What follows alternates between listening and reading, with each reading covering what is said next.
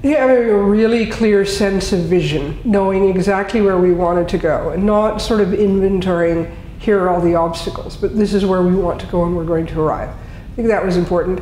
I think um, relationships, uh, strategic partnerships, um, working with other Aboriginal organizations. Uh, I think um, transmitting Indigenous knowledge uh, to mainstream, to be able to clearly articulate how we do things differently.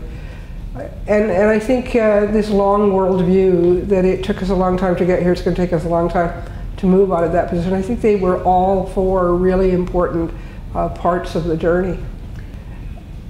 I think the most important accomplishment of the Federation is that we have made enormous strides in the past 30 years at stopping the loss of our culture, that people are beginning uh, increasingly uh, speaking their languages and using it, uh, that there are songs, there are ceremonies, uh, we're, uh, we're recognizing our, our knowledge keepers. I think uh, all of that has helped turn around some of the more negative social conditions that we've experienced.